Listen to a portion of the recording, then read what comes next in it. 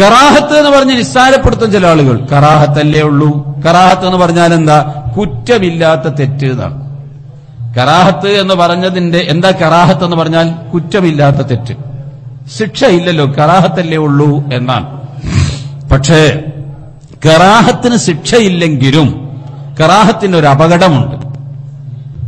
കറാഹത്ത് ചെയ്യുന്ന മനുഷ്യനെ ഹറാമ് ചെയ്യാൻ മടിയില്ലാത്തവനായി മാറും.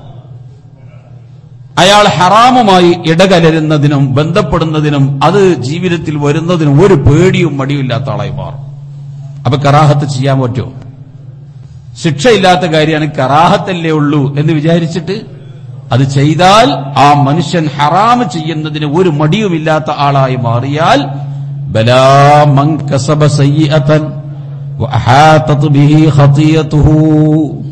എപ്പോഴും എപ്പോഴും എപ്പോഴും ദോഷങ്ങളുമായി ഇടകലർന്ന് അത് ജീവിതത്തിൽ എപ്പോഴും ബന്ധപ്പെട്ടുകൊണ്ട് കഴിഞ്ഞുകൂടുന്ന ഒരവസ്ഥ ഉണ്ടായാൽ അതവന്റെ ഈമാനിന് പ്രതികൂലമായി ബാധിക്കും.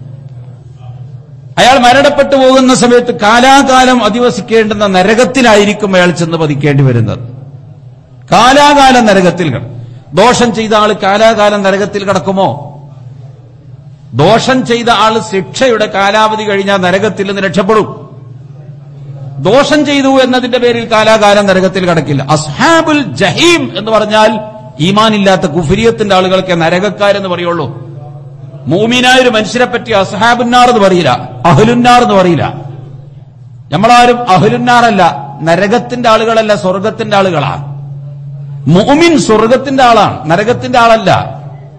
അയാൾ ചെയ്ത തെറ്റിന്റെ പേരിൽ ആ തെറ്റിനെ കരിച്ചു കളയാൻ വേണ്ടി നരകത്തിലിട്ട് ശിക്ഷിച്ച് കാലാവധി കഴിഞ്ഞാൽ സ്വർഗത്ത് പോകേണ്ടവനാ. കാഫർ അത് പോകൂല. അവൻ കാലാകാല നരകത്തിന്റെ ആളാ. ഉലായിക്ക അസ്ഹാബുൻ ഹും ഫീഹാ ഖാലിദൂൻ. കാലാകാലം നരകത്തിൽ ശാശ്വത ജീവിതം നയിക്കേണ്ടി വരുന്നത് ഈ തെറ്റ് ചെയ്ത മനുഷ്യൻ കാലാകാലം നരകത്തിൽ കടക്കേണ്ടി വരുന്നത് ആ തെറ്റ് അയാളുടെ ഈമാനിനെ നശിപ്പിച്ചു കളയുന്ന അവസ്ഥയിലേക്ക് എത്തിക്കുമെന്ന് നമ്മൾ പേടിക്കേണ്ടതുണ്ട്.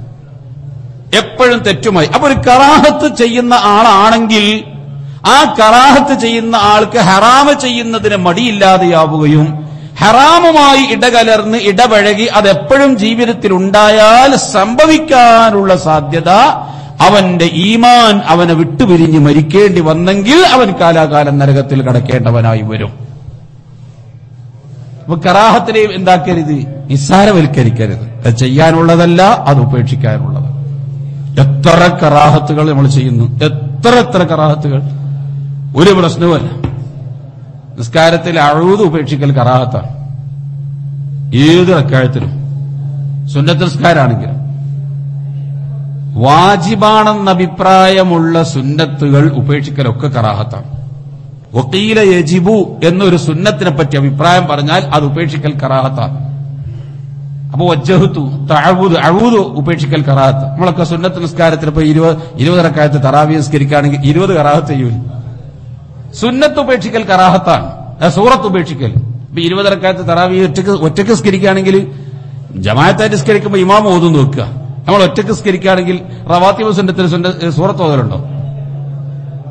അത്തഹിയാത്തിൽ നാല് കാര്യങ്ങളെ തൊട്ട് കാവലിനെ തേടാതെ നിങ്ങൾ സലാം വിട്ടരുത് അള്ളാഹുമ്മ ഇന്നി അഊദു ബിക അദാബിൽ ഖബർ.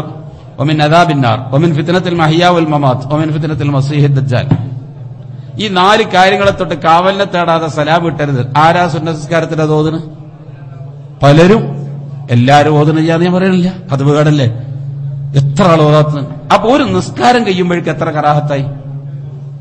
ഏറ്റവും പവിത്രമായ ഒരു ഇബാദത്തിൽ കറാഹത്ത് എത്ര എണ്ണം ജീവിതത്തിൽ സംഭവിക്കുന്നു? അങ്ങനെ കണക്ക് കൂട്ടുമ്പോൾ ഒരു ദിവസം രാവിലെ മുതൽ വൈകുന്നേരം വരെ നമ്മൾ ചെയ്തുകൊണ്ടിരിക്കുന്ന സൽക്രമങ്ങളുടെ കൂട്ടത്തിൽ എത്ര കറാഹത്തൊരു ദിവസം ചെയ്യും?